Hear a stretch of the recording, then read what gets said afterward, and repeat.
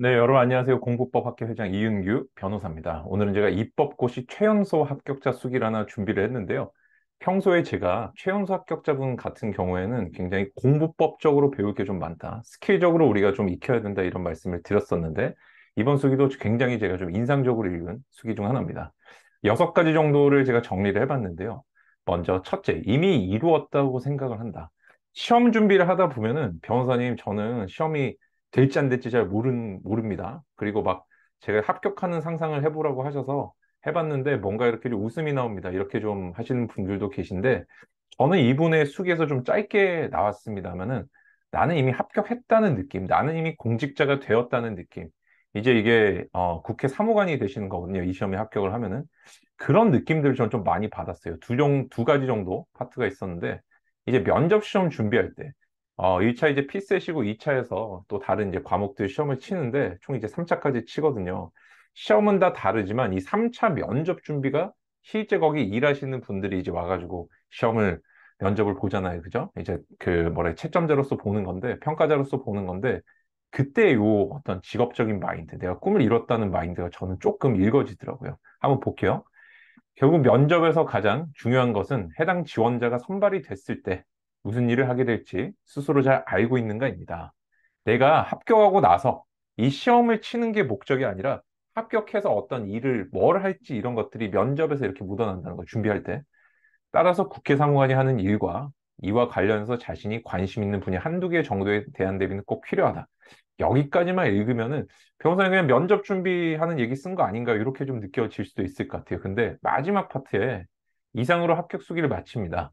항상 겸손한 자세로 공익에 봉사하고 국민을 섬기며 늘 발전하는 공직자가 되겠습니다. 감사합니다. 저는 사실 지금까지 수기를 굉장히 많이 읽어봤지만 이렇게 좀 디테일하게 구체적으로 뭔가 내가 나중에 어떤 식의 공직에서 일을 하겠다. 물론 이제 진짜 이제 그 직업을 가지신 상태는 아니니까 내가 책상에서 하는 일들 어디에 보고하고 이런 것들을 쓸 수는 없죠. 근데 이 마인드가 저는 되게 남다르게 느껴지더라고. 이거는 평소에 내가 어, 이 직업을 시험을 쳐서 이후에 어떤 삶을 그려보지 않은 사람은 어, 가질 수 없는 이런 저는 마인드, 이런 표현이라고 저는 생각을 많이 합니다. 그래서 여러분들께서 굉장히 좀 짧은 거지만은 물론 제가 이렇게 생각을 하고 글을 읽어서 보일 수도 있어요. 그렇지만 여러분들이 항상 타임머신을 타고 돌아왔다고 생각하고 이미 그 직업을 내가 가지고 있다. 이미 시험에 합격했다는 마인드로 건방지게 살라는 뜻이 아니라 그렇게 하려면 현재 어떻게 해야 될지 거꾸로 돌아와서 생각하는 습관들 자꾸 좀 가져달라고 제가 강조를 해드렸었죠. 똑같이 묻어나고.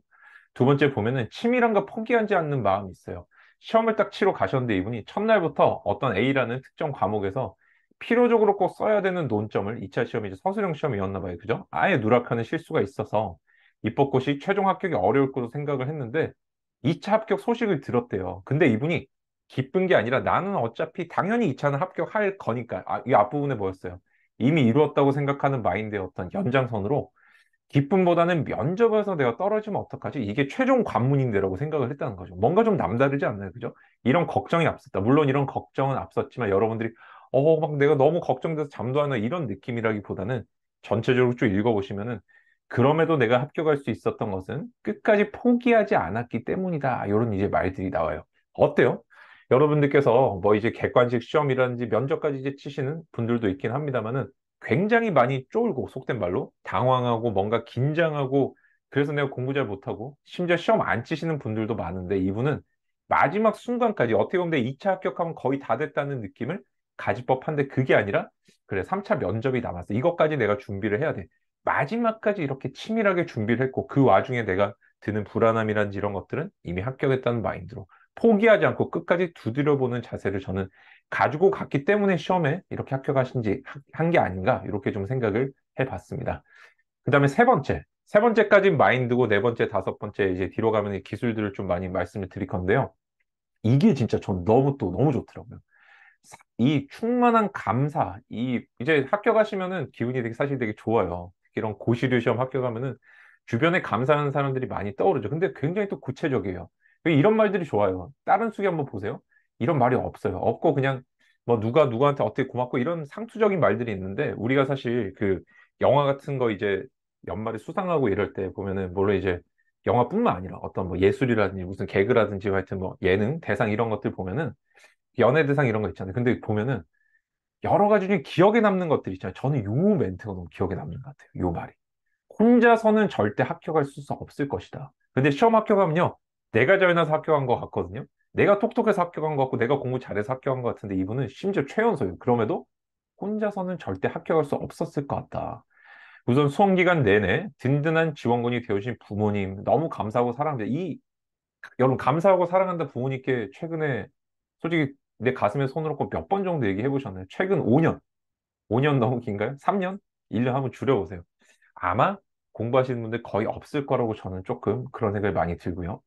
명절 때 잘 내려오지 못하는 손녀임에도 늘 격려해 주신 할아버지 할머니께도 감사드립니다. 우리 솔직히 공부할 때 명절 때 내려오지 마면 당연하지라고 생각한 경우가 많지 않나요? 죄송하다고 생각을 많이 안 하지 않나요? 이런 것들이 너무 물론 내려가지 않은 게 중요하죠. 내려가지 않지만 그 마음 속에는 항상 죄송함과 그 죄송함보다는 우리 priming 효과라고 그럽니다. 선행 효과로 그러는데 어떤 말을 하느냐에 따라 내 심리 상태가 좌우가 돼요. 근데 나는 죄송합니다가 아니라 감사로 마음을 채운 게 너무 중요한 거예요. 할아버지 할머니 못 내려가서 죄송합니다가 아니라 못 내려갔는데 이해해 주셔서 그리고 격려해 주셔서 뭐 무슨 표현 썼다? 감사드립니다. 이게 내 삶을 바꾸는 시작이에요.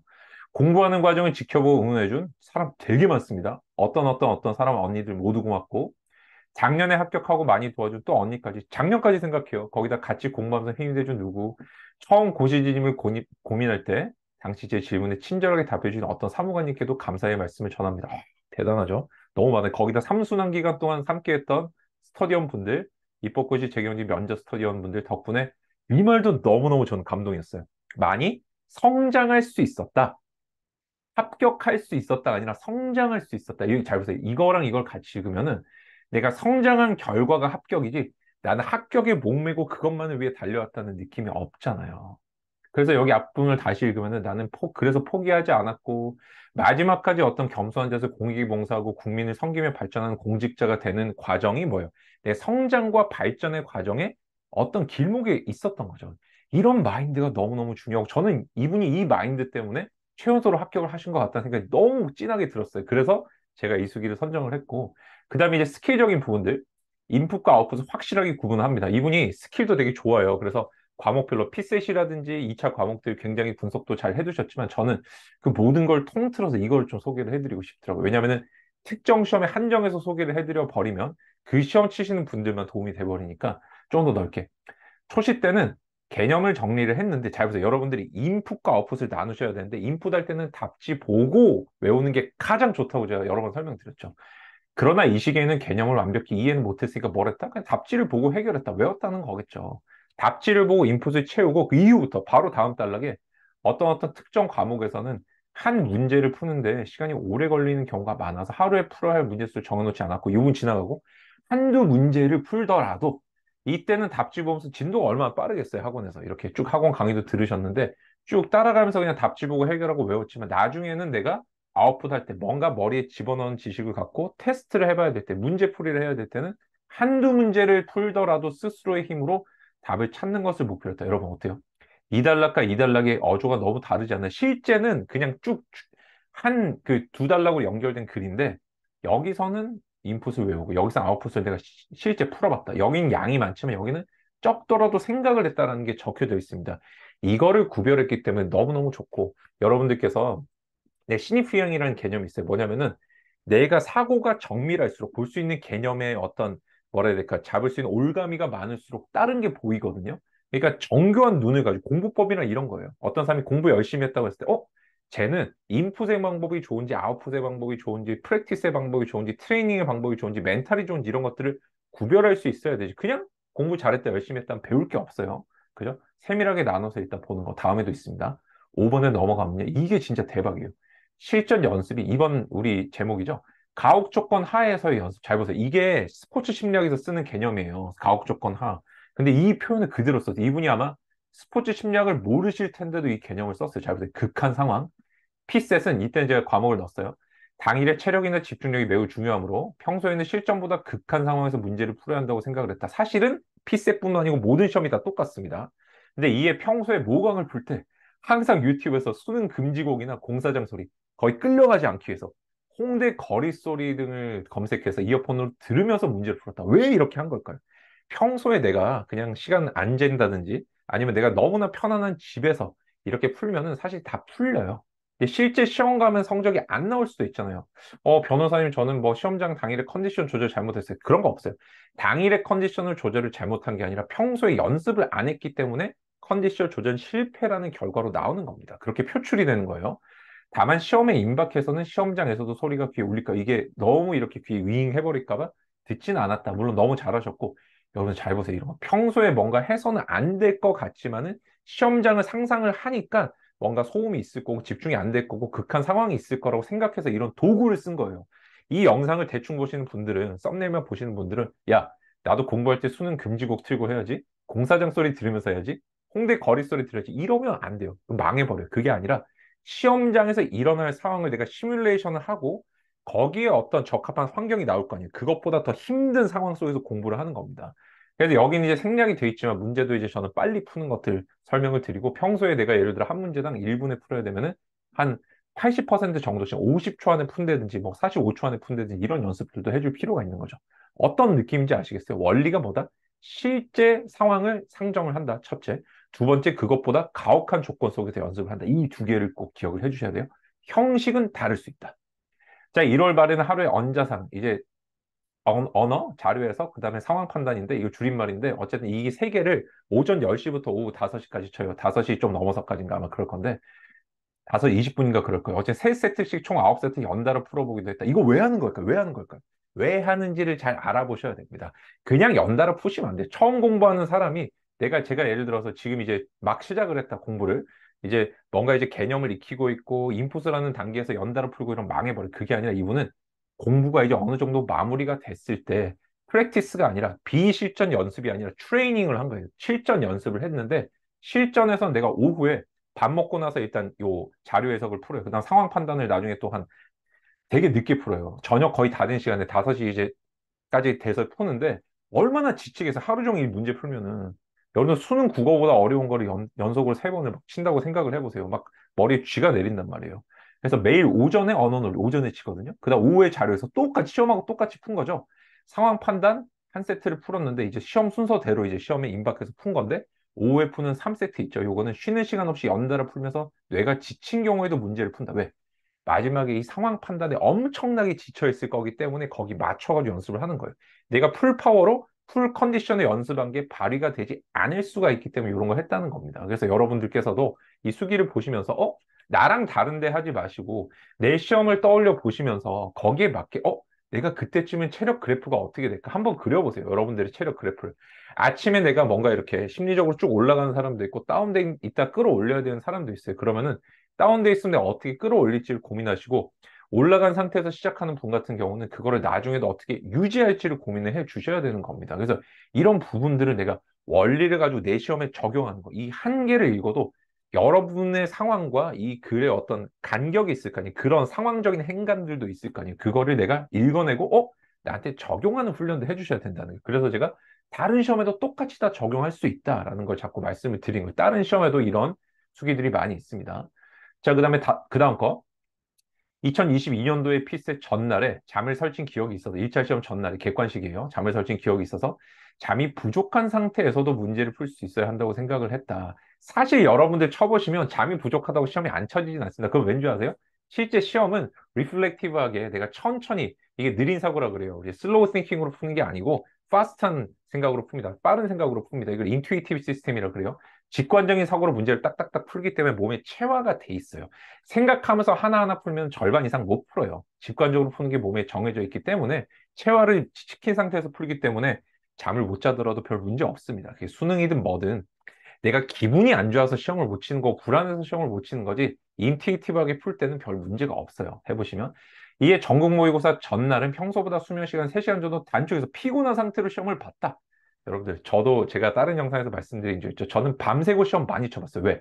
저는 사실 시험을 밤새고 쳐도 두 가지를 검증해 보고 싶었던 거예요. 첫째는 내가 밤새고 쳐도 성적이 나오는지 확인을 해보고 싶었고, 인투이티브한 시스템으로 푸는지 확인을 해보고 싶었고, 두 번째, 내가 시험, 내가 잠을 못 치고 쳐도 멘탈적으로 문제가 없는지를 익숙해지기 위해서 해본 거예요. 근데 이분도 똑같이 하신 거죠.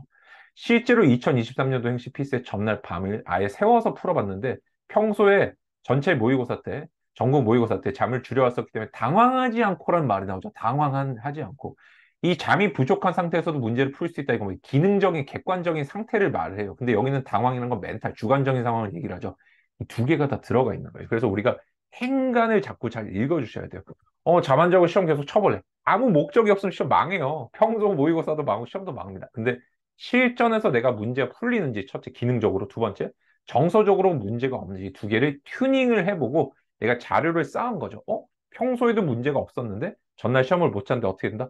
못 잤으니까 불안해가 아니라 못 잤지만 나는 괜찮아라고 생각할 수 있는 방법적인 어떤 근거를 마련을 해둔 거죠. 아, 너무 진짜 대단한 것 같아요. 진짜 이게 왜냐면은 저는 사실 지금 공부법을 연구하는 사람이잖아요. 저도 물론 좋은 경험 있고 좋은 공부법 시험이 됐지만 이후에 제가 이런 신입휘양들을 많이 만들어서 공부를 많이 해가지고 여러분들께 설명을 드리는 건데 이 최연소 분들 진짜 귀신이에요. 어떻게 이런 걸 다 알아가지고 이걸 했었는지 진짜 너무 신기합니다. 자, 마지막 거 한번 볼게요. 시험이 임박할수록 기본적인 내용이 중요하다. 보세요.